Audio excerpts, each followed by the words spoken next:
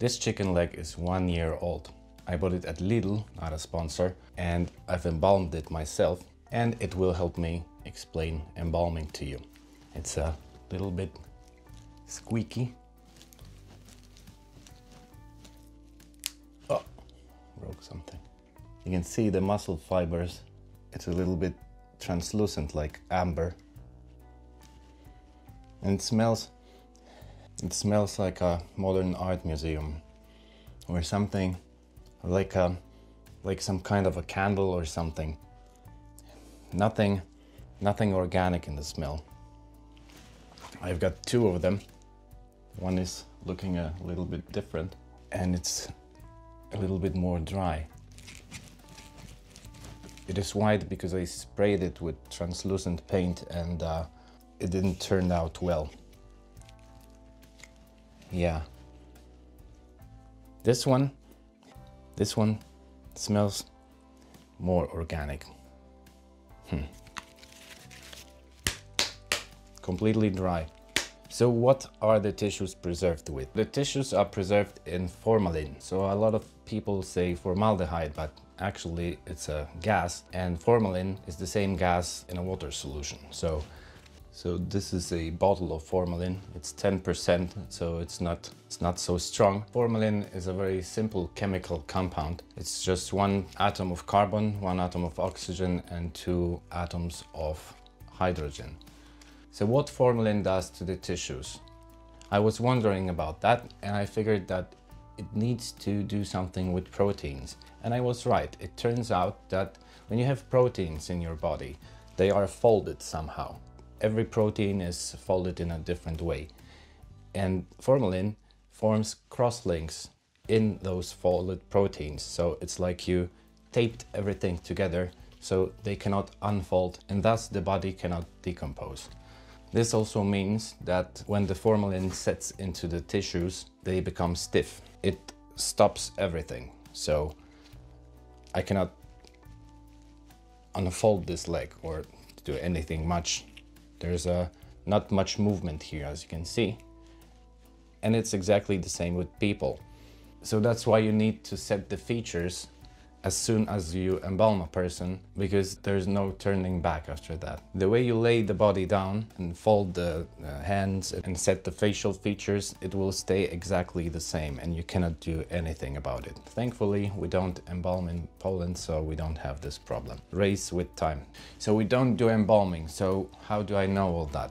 Well, I worked as a technician at a cadaver lab and I worked with industrial quantities of formalin, so that's how I know. Chicken leg anatomical wet specimen. Chicken legs, needle, syringe and a solution of formaldehyde, alcohol and water. Let's start.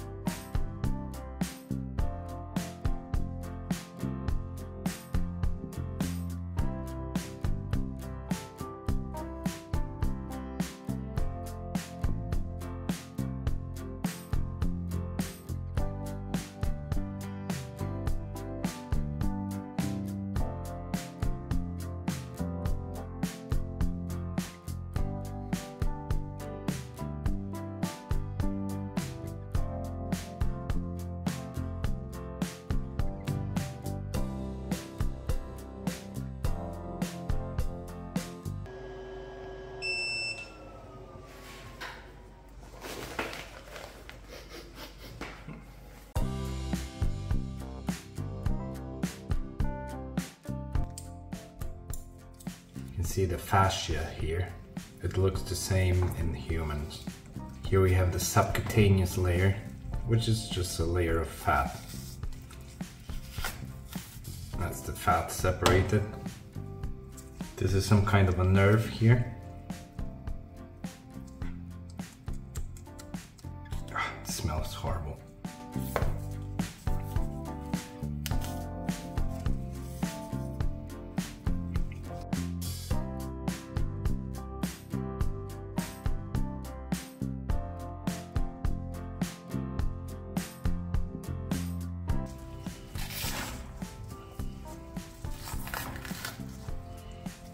It's not as flexible as it was before. I can try to scrape a bit of fat here. Hmm, human fat is much more yellow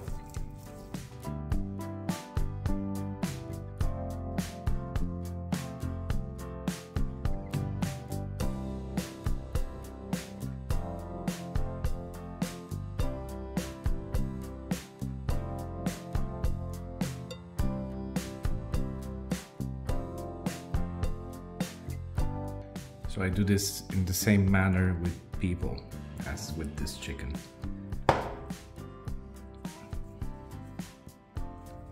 Ah. Sliding all over the place.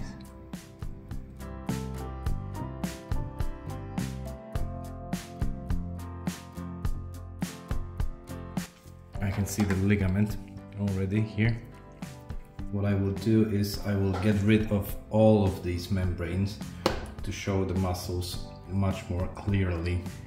But I need to secure this in place because it's sliding all over the, the tray and it's very hard to do this because of that.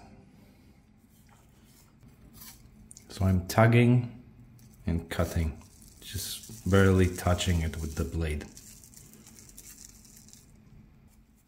If you would eat that chicken, you would probably die.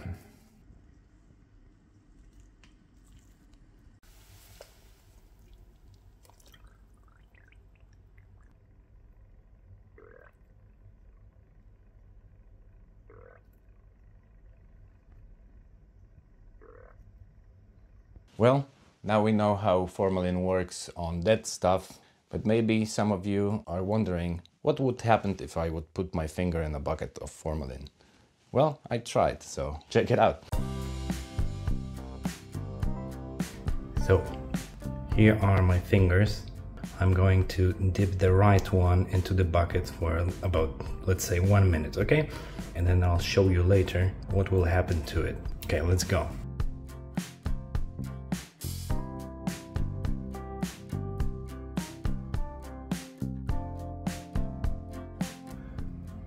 15 seconds left.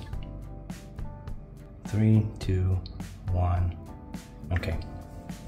So this is how it looks now.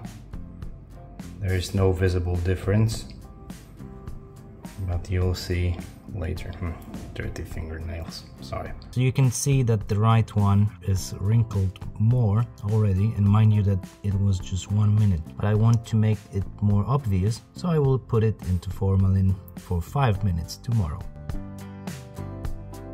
That's the one from the formalin and that's the control finger.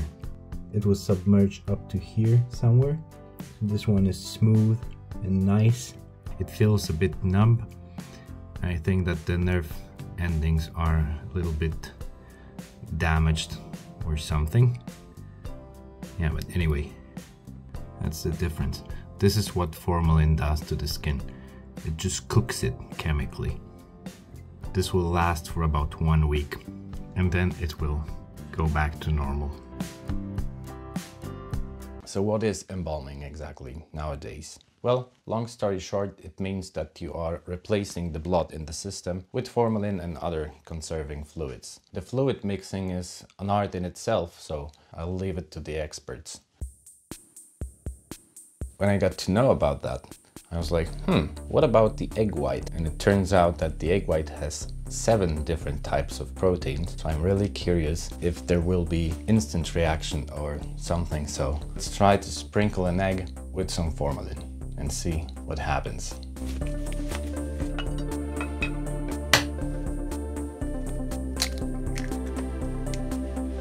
Looks like sun.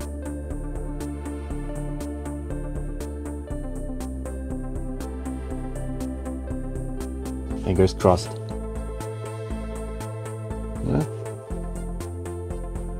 Well, doesn't look like much. It looks like something is happening after all, but a lot slower than I anticipated. We have the web. You see this webbing?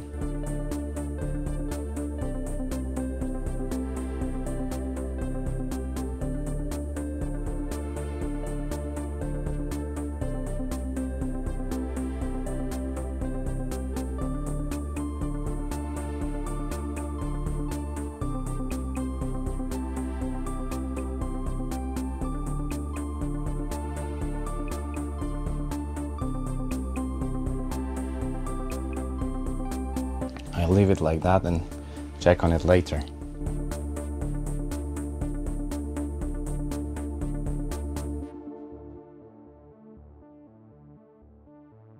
Okay, so this is our egg after one week. There's a little bit of formalin still in there and it didn't coagulate as I was expecting it to. It's coagulated, but it's still a little bit wobbly.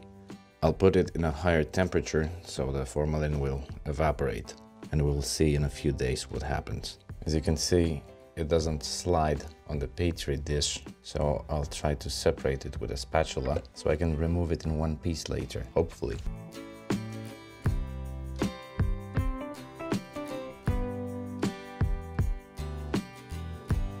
The yolk is very hard. I've injected formalin directly into the middle, where this concave surface is. I hope that I'll have a nice sunny side up chemically cooked egg in a few days. And yes, I will use this spatula later for cooking. So this is our egg after one week.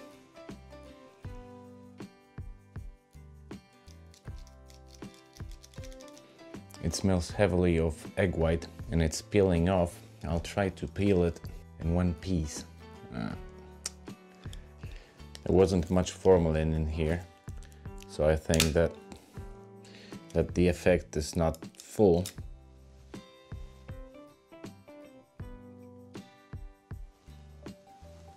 This feels slippery and oily. Hmm. I'm really hoping for the other one. It looks much better and we'll see it in a few days. I will crack one raw egg as a comparison and leave it somewhere in the sun. So we'll see.